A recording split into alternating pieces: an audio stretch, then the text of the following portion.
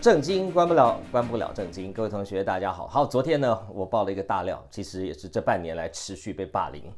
我说嘛，今天如果是我上台去唱一首歌，我被你霸凌就算了嘛，对不对？我随便唱一首《读你》，对不对？读你千遍也不厌倦。好，二十五万人在网络上看，人红是非多嘛，所以你乔委会要霸凌我，我也没话讲。哎，我女儿高中生。在台湾是高二的学生，一个高二的学生拿了一个国际词曲创作大赛的准决赛，全亚洲只有七个人入围，他是台湾的唯一，这个是台湾之光吧？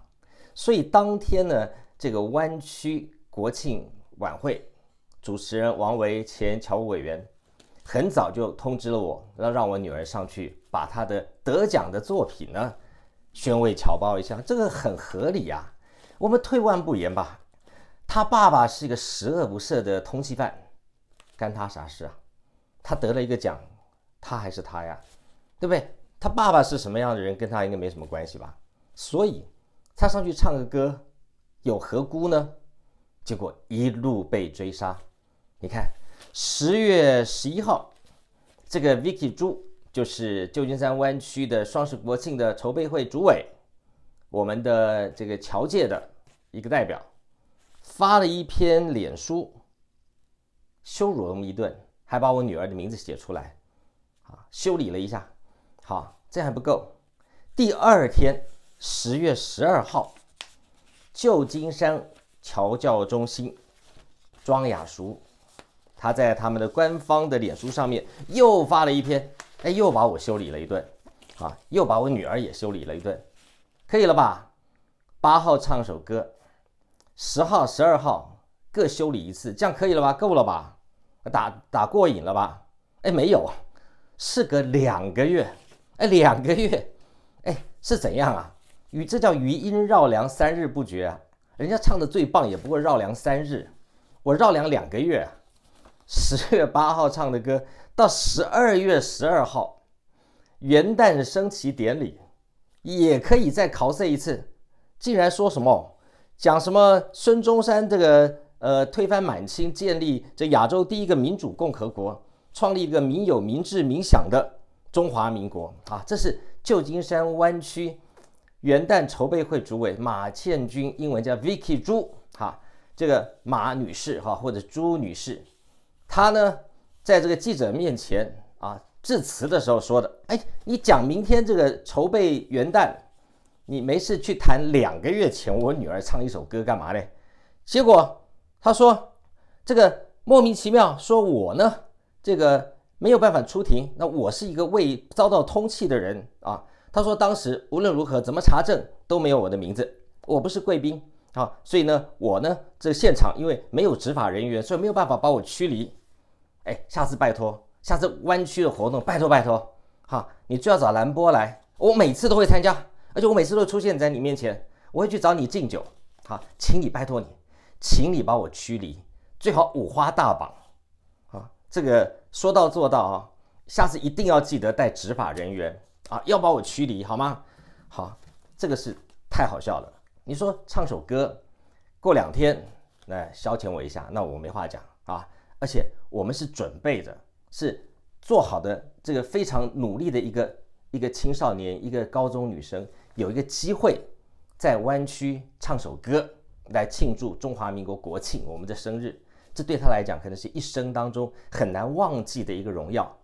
结果被你这样霸凌，哎，你有没有想过，你这样子对这样的一个小孩子的伤害可能会有多深远？你赔得起吗？好，我们来看。如果你说哎呀不好意思啦，当时真的不小心的。第二天呢，我就是这个侨委会呢，呃，在在这个 complain，所以我我就我就临时这么说。哎，可是侨委会，你这个庄雅淑啊，这个旧金山湾区的这个侨教中心的主任，你可是中华民国的事务官哦，你不会连这一点 sense 都没有吧？我要告诉你的是啊，就算是通气犯，我上台唱首歌啊。通缉犯在没有被褫夺公权之前，他都还有公民的权利啊。褫夺公权也没有褫夺唱歌权呢，更何况我根本就没有上台，好吗？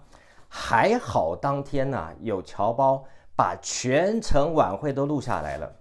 徐家清，这个 Vicky 朱，咱们法庭慢慢播啊，你看哪里我哪里上台了，我哪里乱入了。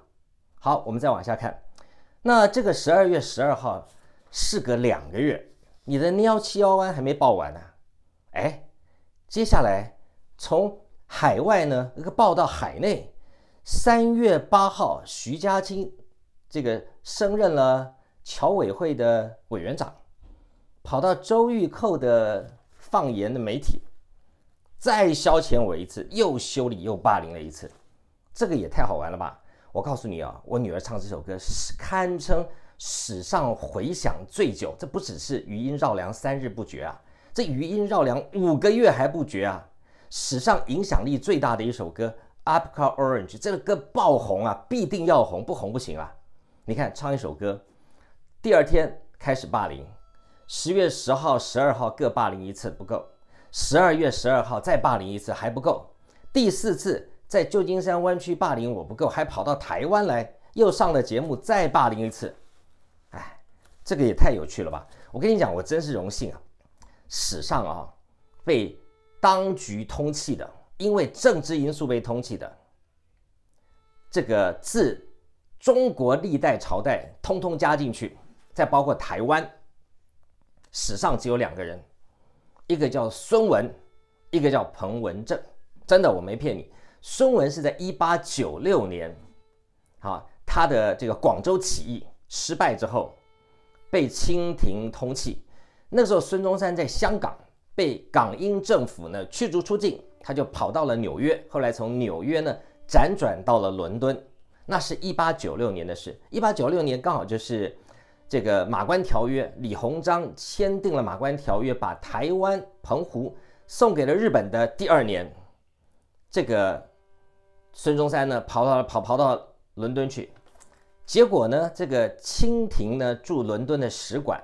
诱捕孙中山，孙中山呢，经过这个清廷的使馆啊，一次两次，经过了七次都没有问题，后来被发现了，于是清廷的使馆呢就派人埋伏在门口，看到孙中山第八次走过清廷的使馆门口的时候，冲出来把他拖进使馆，有点像那个华西街的 QK 啊，的 UK，就把他给拖进了使馆，然后把他给揪进起来，本来想要把他给密谋害杀杀掉。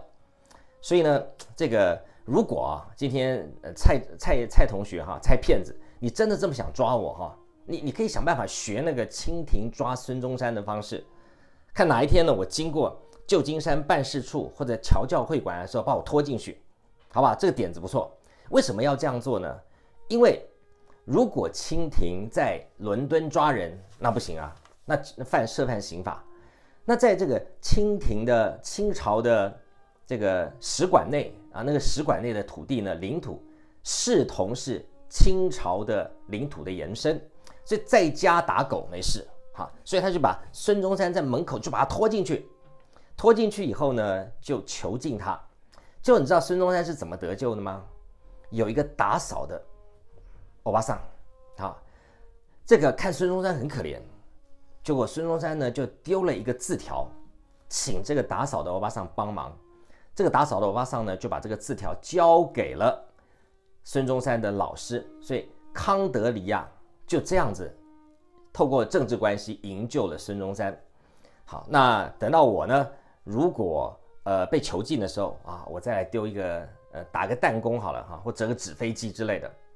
好，那这史上啊遭到这样的殊荣的人，这这也只有孙中山跟彭文正嘛，对不对？那另外还有一项记录是没有破的。就这史上呢，没有一个人哦，唱歌唱完之后半年啊还有回响的，真的，周杰伦也没有啊，林俊杰也没有，王力宏也没有啊，演唱会完了顶多新闻就两天吧，我呢新闻六个月半年呢，你说我大巨蛋不演唱行吗？对不对？我大巨蛋不开唱可以吗？到头来我的票可能是秒杀啊，那个时候可能周杰伦、林俊杰哈称呼其后啊，好。我们来看看，到了三月八号，哎，二零二二年十月八号唱首歌，到了二零二三年三月八号还有人要轰，我也太知名了吧，我太红了吧？来看看这个标题是什么？放言下的标题就是周玉蔻下的标题嘛？啊，彭文正乱入台侨国庆晚会，自称通缉犯当座上宾，意图羞辱政府。你这个政府已经每天都被人家羞辱了，哪差我啊？我羞辱你干嘛呢？你根本就每天都在做自己羞辱自己的事情，你不需要别人羞辱吧？你看好标题哦，大家看看会觉得时空倒错吧？台侨国庆晚宴，国庆不是十月十号吗？晚宴不是八号九号的事吗？哎，为什么这个周玉蔻还当过什么采访主任？发个新闻一点时效性都没有，怎么突然去讲半年前的事情？二零二三年的三月八号发了个文去谈二零二二年十月八号发生的事情。这标题还说侨委会委员长徐家清澄清，半年后还要澄清啊？你看我的影响力多么深远啊！徐家清澄清说，海外活动皆由民间自发，官方仅协办。司仪趁职务之便带棚上台。哎，光这句话我要告你了，这司仪也要告你了。你去拿出一张照片，一张就好。我在国庆晚宴上，我有上台一张就好，我就去渔人码头切腹自杀。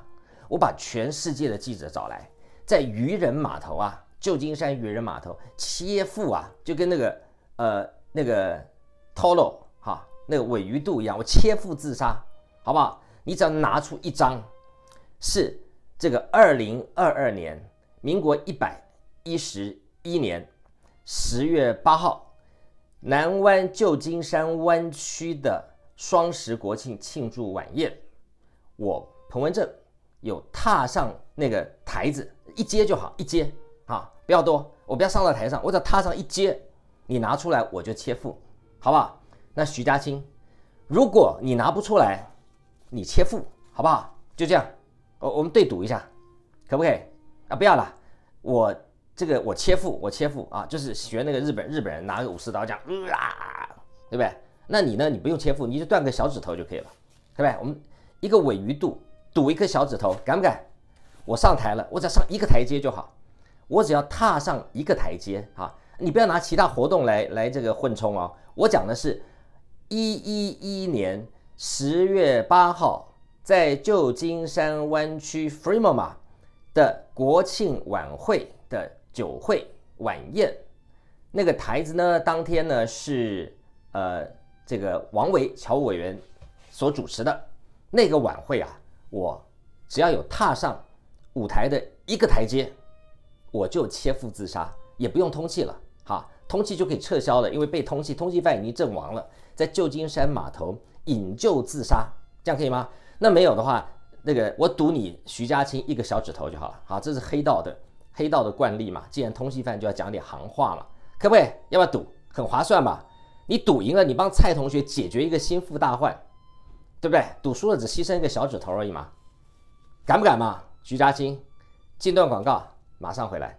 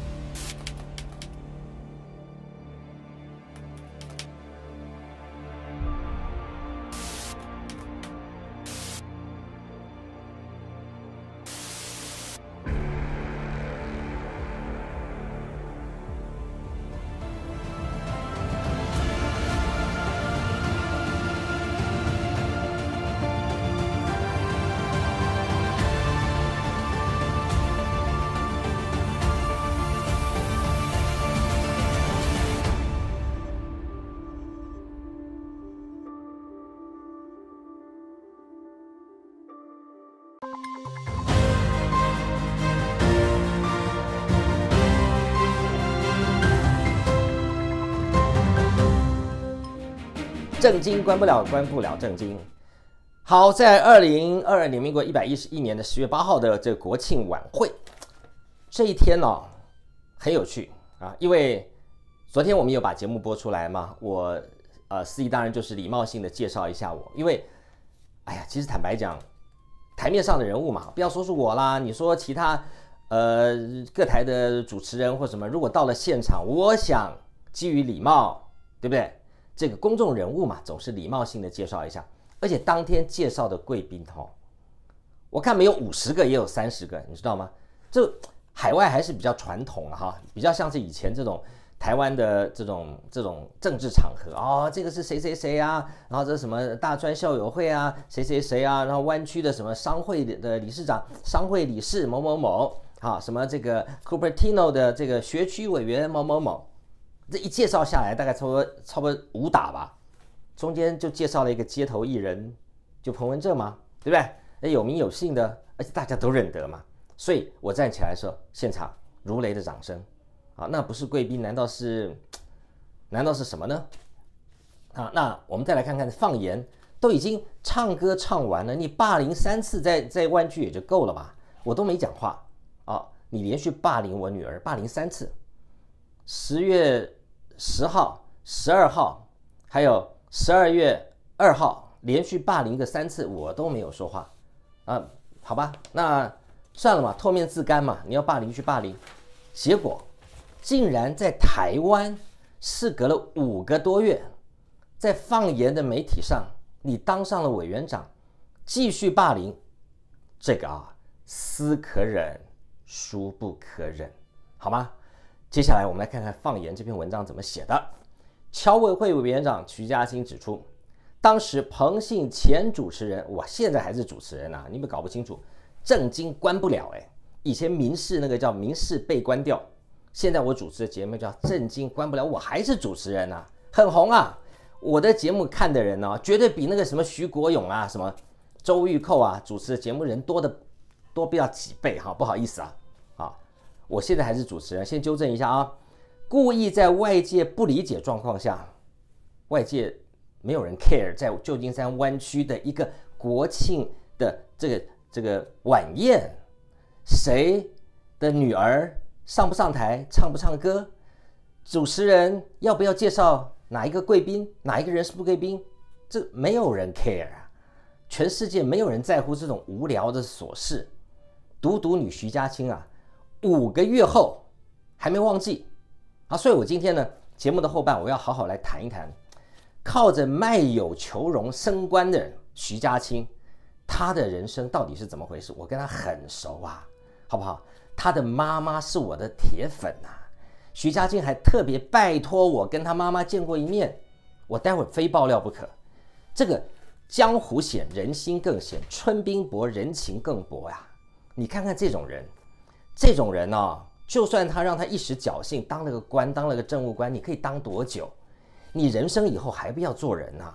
你做的这些事情是可以被传颂的，我会出书的，而且呢，这个 YouTube 上面是可以很多很多年的。你的妈妈带着你的小孩，还有你的美国籍丈夫，你拜托我跟你妈妈吃一顿饭呢？我这个人是这样的，我不跟政治人物私下往来，可是你拜托我，你说你妈妈是我的铁粉。我听到老人家，我就心软了。我说好啊，好好好，那改天我们全家，我带着老婆小孩跟你们全家认识。哎，今天我不过就是一些政治立场跟你不太一样吧，大概就是这样子吧。我想你心知肚明啊。我讲蔡英文是假博士，你敢跟我对赌吗？徐家清，我拿我全家财产跟你赌全家财产好不好？我当然我的财产没你多了，你当官的啦。啊，我我财产没你多，好，那我跟你对赌好不好？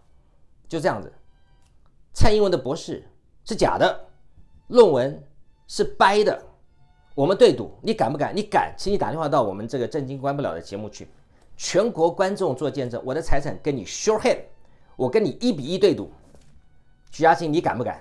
好，我希望你敢。好，再来，那待会儿我们再来讲徐家清的过往，那真的是卖友求荣的典型啊。好，徐家清说呢。他说：“宣传一名通缉犯竟然能获邀侨委会所办的国庆晚宴，他完全搞不清楚状况。我们所有海外的国庆活动，通通是由民间自主发起，我们顶多是个协办单位。协办单位不是单位啊，协办单位不是单位的话，那个现场摆了一个整面墙的侨委会经费赞助，是在是在卖拔蜡吗？对不对？顶多是个协办单位，你就这么嚣张啊？协办单位就要出来这个说三道四。就要去威胁主办单位的主任委员出来澄清、出来骂人，那你罪加一等啦，对不对？那你更是不知情的第三者喽，你根本就是路人甲嘛。照你的说法，那我们去陪审团好好论一论理嘛，对不对？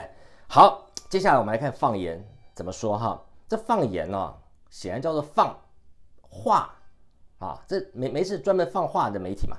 媒体人彭文正去年双十参与旧金山的台侨国庆晚会。被介绍上台时受到热烈鼓掌，让不少民众不解。来来来，我们再看一次上次的晚会，好不好？你看看我是站在台上吗？啊，我们来看看我被这个主持人呢点名的时候，我站起来跟大家挥挥手，我们全家站起来挥挥手。我要告诉大家啊，当天被点名的大概有五十个，好，我大概是最后面的一两个吧。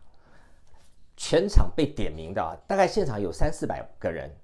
被点名的一大堆嘛，我刚刚讲是某个地方的社区呃学区主委，某个地方的什么谁谁谁的助理啊，然后呃某某个地方的呃县议员啊，诸如此类，好什么什么校友会会长，大概有五十个吧，我不过就最后被点了一下啊，那全场这算不算热烈的掌声？自己判断嘛啊，我们再看一遍好吗？好，大家注意好哦，我的脚踩在哪里？我是在台上吗？我是在台上吗？好，徐家清，你要搞清楚状况，好，不要这个领国家的薪水，交不不给我推推，不要搞不清楚状况。再来，结果呢？他说侨委会呢委员长徐家清啊，在上广播节目新闻放鞭炮说澄清，海外国庆晚宴都是由民间自主参加的，侨委会是协办角色。今天是二零二三年呐，民国一百一十二年的三月八号。你在谈去年民国一百一十一年的双十晚会干嘛呀？当天是筹备委员借司仪的身份之便，夹带彭文正上台，这不是夹带哎。我第一个我没有上台啊，所以你这个显然不但是这个内容有误啊，而且是严重的借题发挥。这第一个，第二个上台的是。得到 International Songwriting Competition Semifinalist 国际词曲创作大赛的准决赛名单，亚洲只有七个人入围，台湾唯一，堪称台湾之光。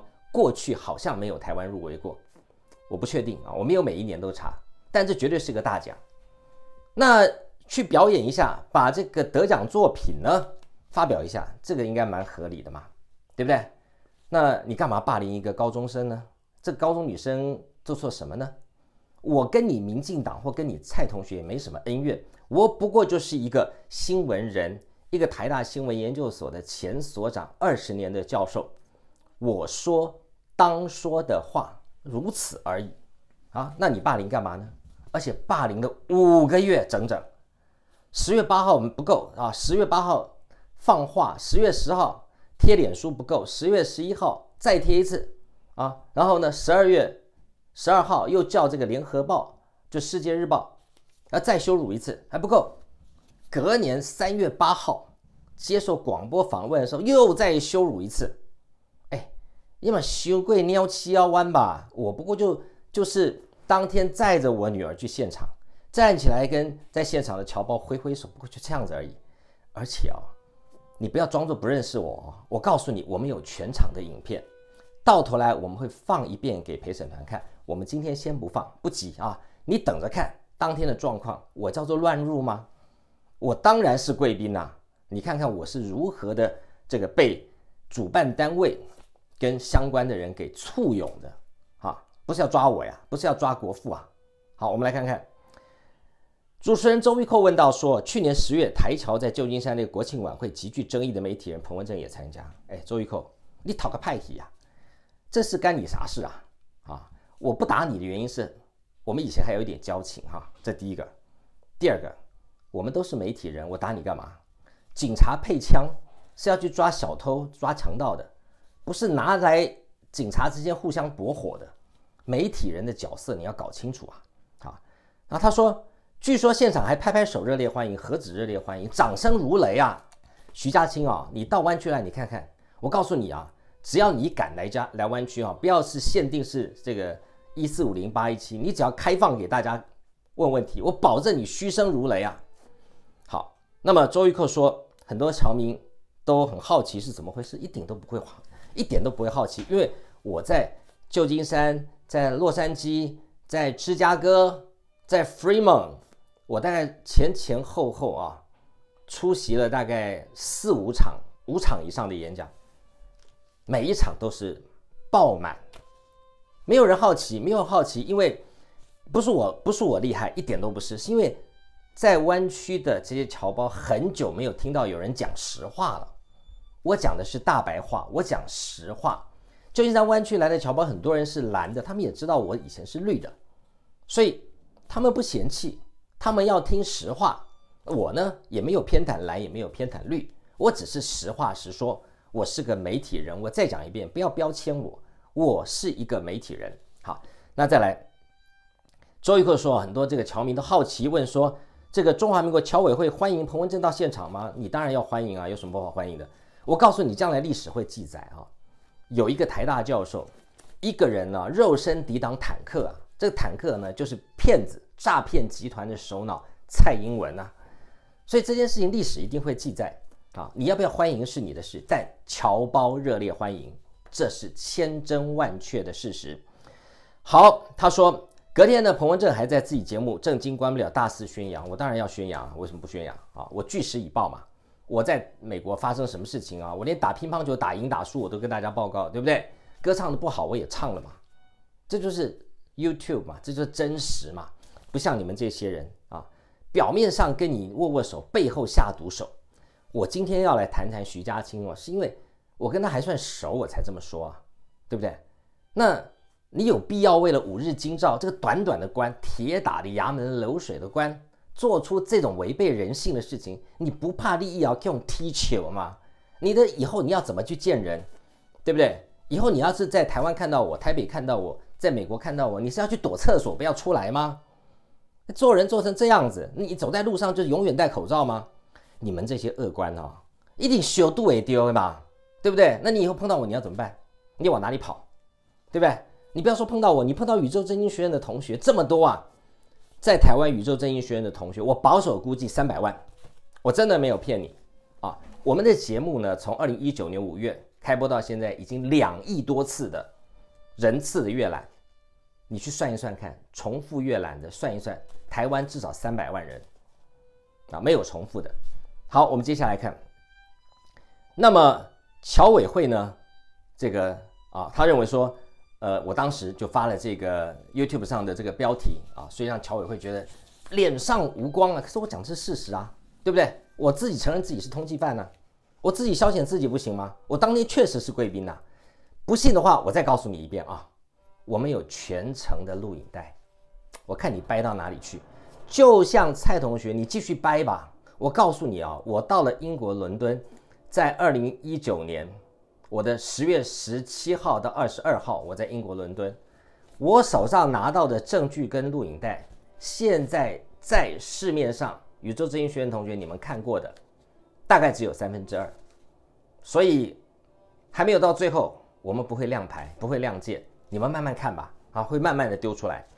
所以你在这个放言这个媒体，已经隔了五个月了，你还要再谈去年双十国庆？在南湾的一个晚会中的事情，还要捏造我趁乱上台。我跟你讲，我年老色衰哈，爬不了这么高的台，我也不想爬上去，好吗？请你拿出一张我上台的照片，不要移花接木哦。好，我在很多节目中都有上台，我也上去演讲过，我也在万圣节的晚会上去唱过歌。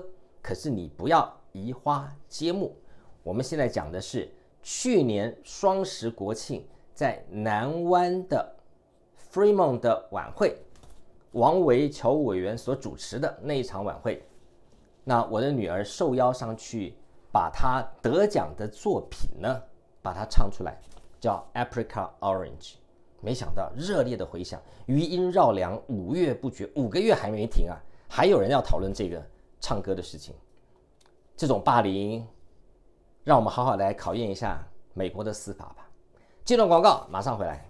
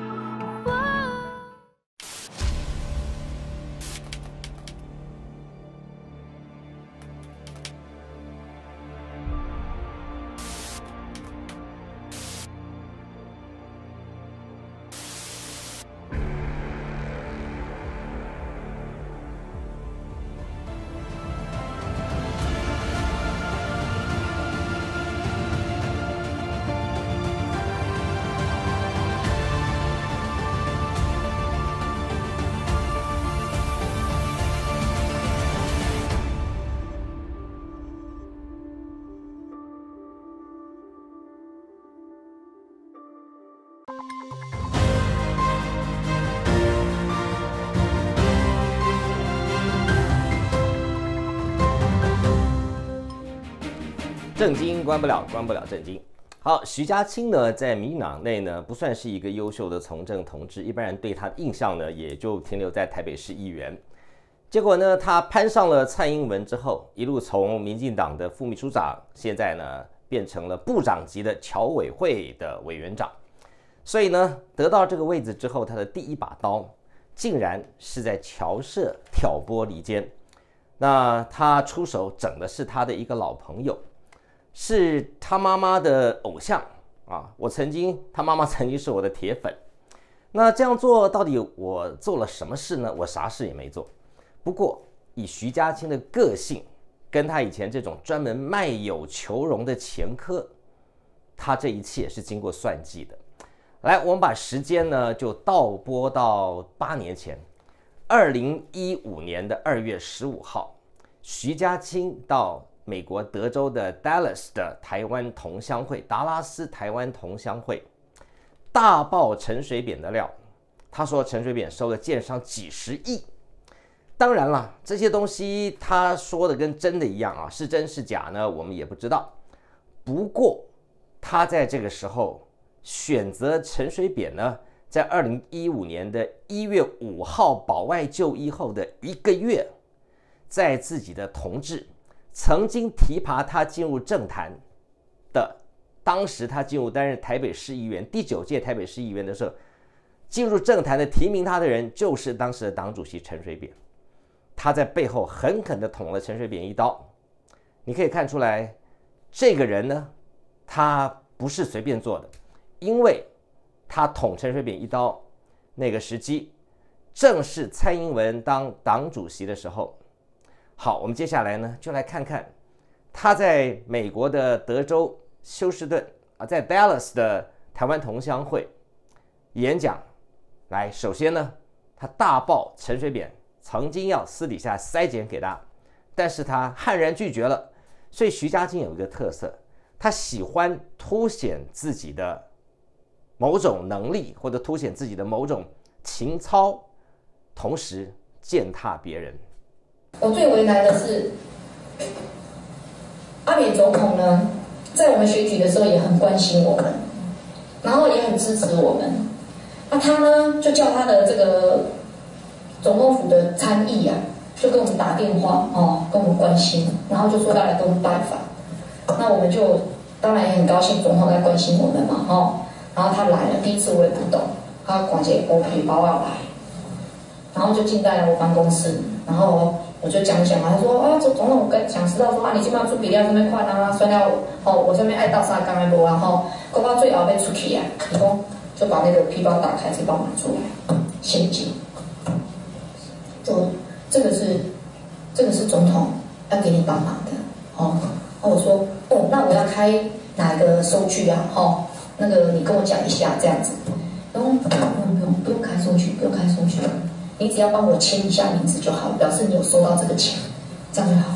我说，哎，这样不行哎，这个我们有政治现金法规定哎，那个总统是党主席啊，那为什么这个钱不要透过党党可以捐给我们呢？这样我一百万我可以合法开收据啊。党赞助我一百万也 OK 啊，对不对啊？这样子不行啊，这个这样的我不能收啊。哦，我的我的公很抱歉哦，谢谢总统的好意，请你带回去。你说，哎，你不要这样子啦，你这样你让我很为难，我去怎么跟总统交代？哦，那我就说，哎，不是啦，那我们政治宪兵法都通过了嘛，你这样子我我也很担心啊。要不然你回去跟总统讲啊，就如果他同意我。用党的名义，哦啊，我开政治收据，那我就给你收。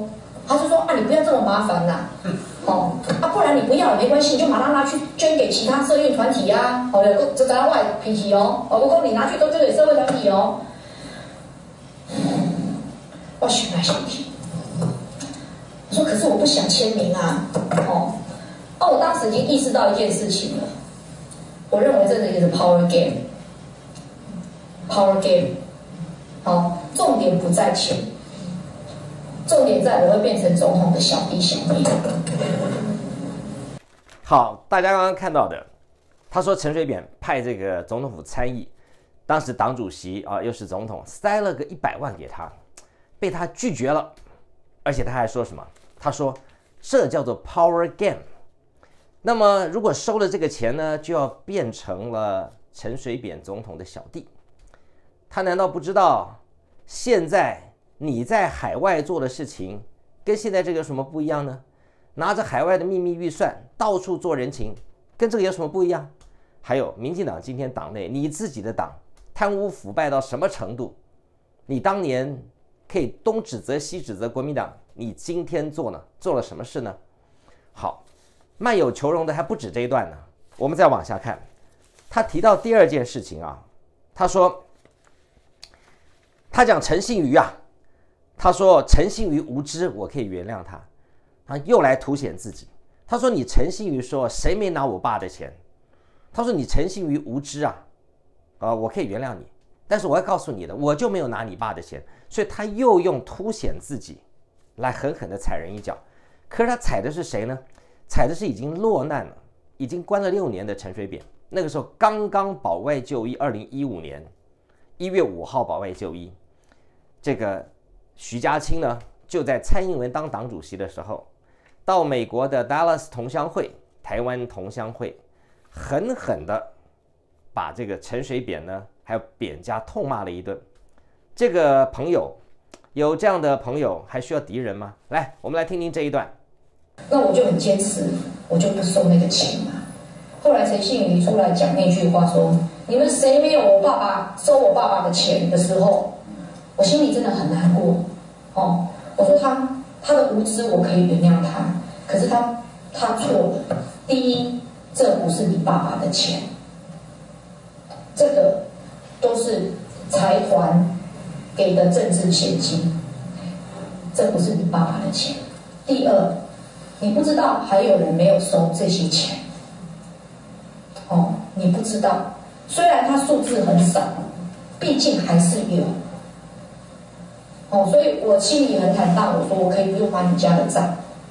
接着呢，被台湾的周刊报道，还当成封面啊，最大的一刀，这简直就是在陈水扁的背后呢拿机关枪扫射。这一段他刚刚说什么呢？我们再来听听看。后来很多年以后，这些有些大老板，我私底下有见到面的，他跟我说啊，徐云，有一次阿炳有找我们大家一起的时候，我们那整个整个房间几十个人都是这个营造业的大老板，我们每一个人最后都有出了五千万、三千万、几千万，一拖了我的归业归在业啊，那你们拿到多少？好，他说这个建商啊，三千万、五千万的捐给陈水扁，他说大家摊下来就有几十亿，意思是暗指陈水扁呢收了许许多多的建商加起来几十亿的政治现金。那徐家清讲这段话呢，当然我说真的，我其实我对于阿扁海角七亿这件事情啊，我持的看法是这样子，就是一个人在海外有钱，你要看他钱是怎么来的，不能因为他在海外有钱呢，就直接连接他是贪污的。所以在扁案的整个过程中，我坚持的一件事情是，这件事情不能用政治解决。好，阿扁在海外的钱是怎么来的？是他自己的钱，是他当律师的钱。是他政治现金的钱，还是他勒索贪污的钱？这个要分清楚。所以一码子归一码子，要打扁也可以，要护扁也可以，就是不能够包裹表决，就是不能够用不正当的司法程序，或者是就是用政治的语言来解决这件事情。我觉得扁案是台湾整个政治上面的第一个值得大家拿来当教科书的案子，要把扁案审理的过程。对照当时的司法，我们仔细来看一看，司法是不是对待所有人都是公平的？我觉得这才是重点。同样的，蔡同学也是，等蔡同学下台之后，他的论文门比陈水扁的贪污案要更为严重。好，我我就这样讲了，因为陈水扁的贪污案从头到尾呢，证据没有非常的清楚，并没有在一个阳光下的司法检视，你只知道他啊汇了海外海外有七亿。那海外期很可能就是政治现金、选举完的结余款、他自己的财产，那很多可能。所以一个司法案件呢，不能够和稀泥，一定要把它分得很清楚。同样的，蔡同学的案子将来也是一样，绝对不能够让他包裹表决的跑掉了，不能稀里糊涂把他推给，哎呀，当时的这个制度不健全啊，当时呢这个学位本来就是这个样子啊，别人也都这样子，千万不能一码归一码。如果蔡同学卸任之后，能够还他清白，我第一个还他清白，我第一个向他道歉。如果他拿得出来他当年的所有的记录，他一卸任就把他的封存资料给解封，摊在阳光下，那如果他是清白的，那我绝对跟他道歉。好，接下来回到许家清啊，你看看，他说陈水扁呢，你拿了人家几十亿啊，就狠狠的又捅了阿扁一刀。好，这还没完呢，他又在这个 Dallas 同乡会的这个演讲当中，他说，直接你看啊，他有个特色哈，他一次打两代，打了阿扁之后打陈志忠，哎，你看他这次故技重施啊，他打了我，顺便打我女儿，哎，奇怪了，你有什么事情跟我单挑嘛，对不对？阿扁还有海角七亿的争议啊，我只不过是讲了一个实话，就是蔡英文你的论文是假的，博士是假的。你徐家清好歹也在国外念过书吧？难道你的论文是这样一页一页的吗？难道你的论文是用立可白的吗？难道你是手写的吗？难道你连的指导教授的名字都会拼错吗？难道你的论文口试是礼拜天吗？难道你在图书馆找不到你的论文吗？是徐家清，你摸着你的良心吧，好不好？你对你的昔日老友痛加批判，原因只有因为我揭穿了你民进党贪污腐败的蔡英文。他的论文是假的，既然论文是假的，那他这一年，他这三十年来从政，他就贪污嘛。他从进到正大教书开始就是诈骗，诈骗就是贪污嘛，对不对？这样子腐败的一个人，一路当上了党主席跟民进党的这个推出来的总统，还有把这个赖清德在党内初选光天化日之下又做掉，用作弊的方式做掉。我怎么没听你徐家清站出来讲一句义正言辞的话呢？你的大义凛然跑去哪里了？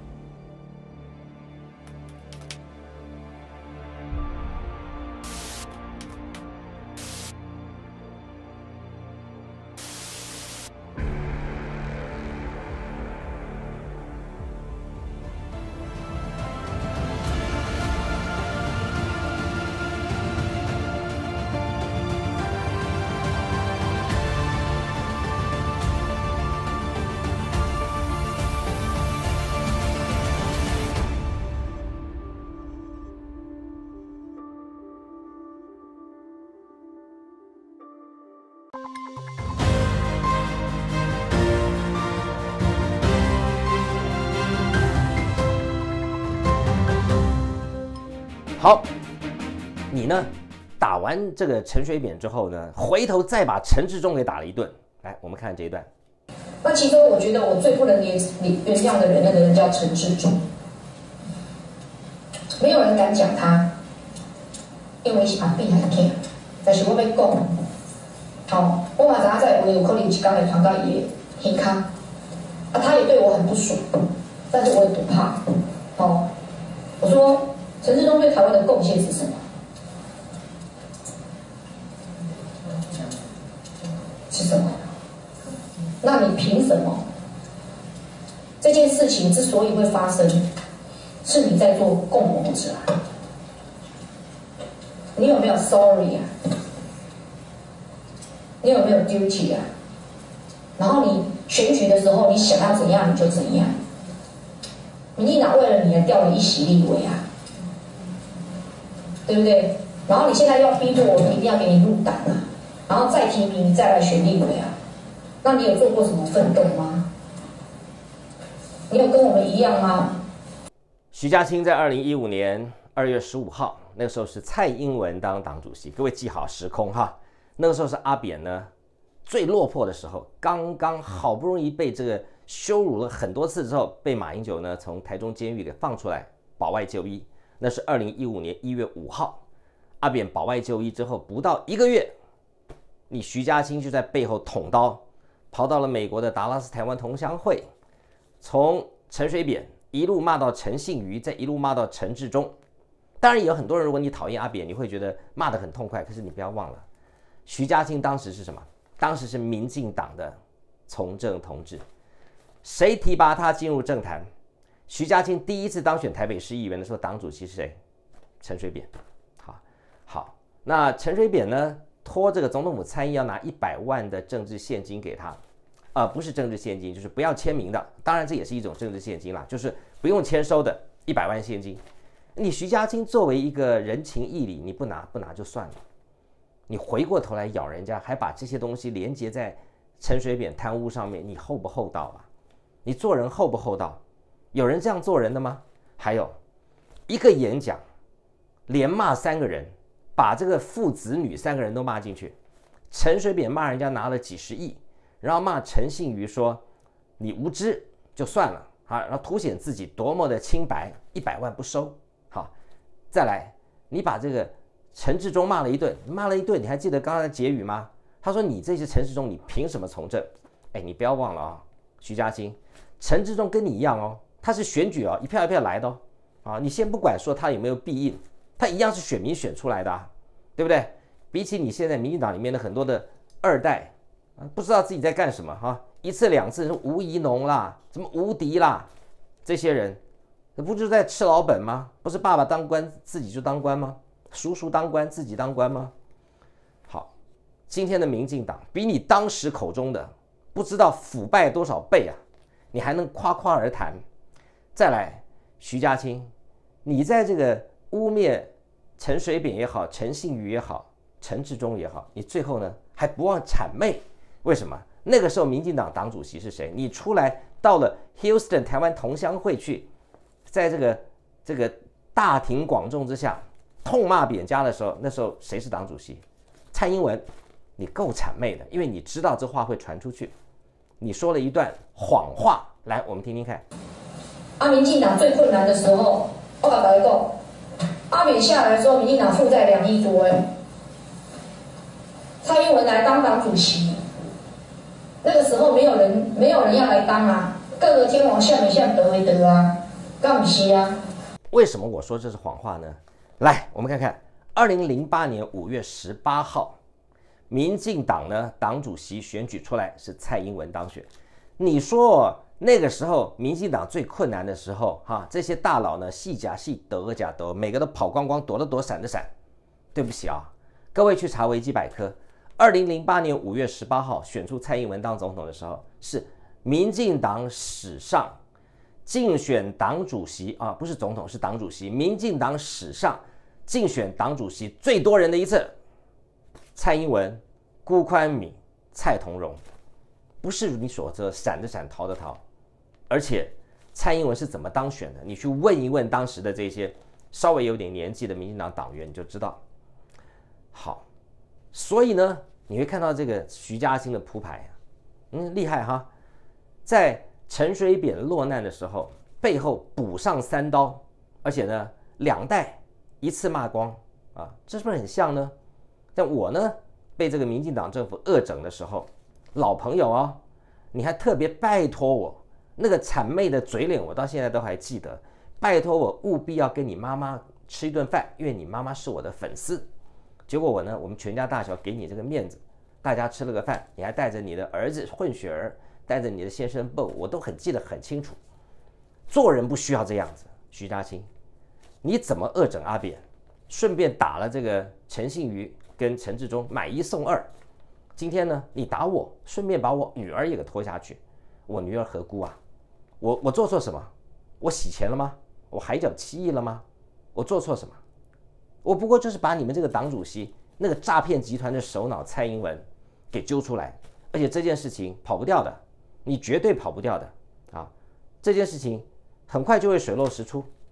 我们所展示的证据，还有现在宇宙咨询学院还有很多同学在美国、在英国都在动啊！你不要以为他们都睡着了，这种铁证如山的事情哈。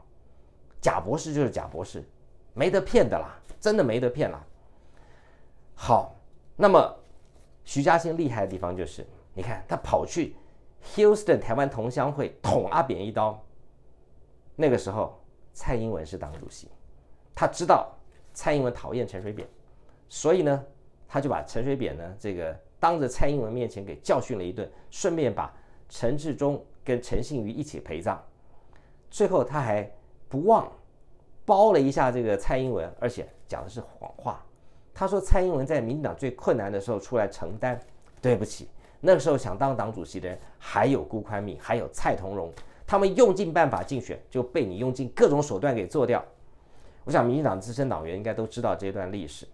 所以徐家清啊，当官是很短暂的，五日金照，要拜不的皮固，你能当多久呢？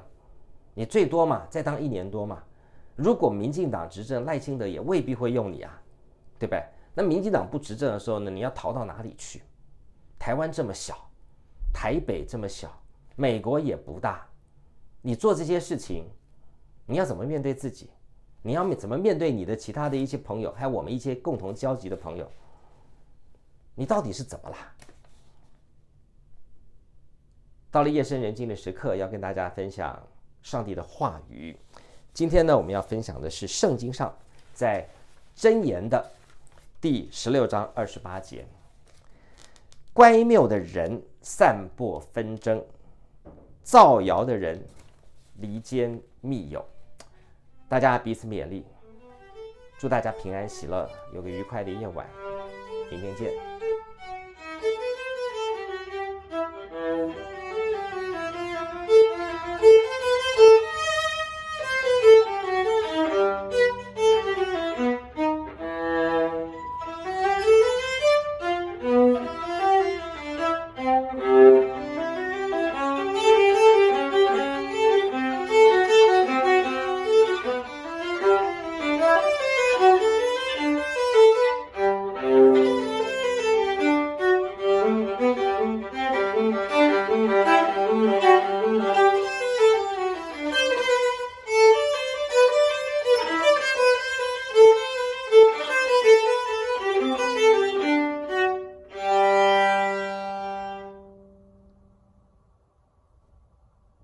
喜欢我们的影片，请在下方点下订阅按钮，也别忘了开启旁边的小铃铛。谢谢大家。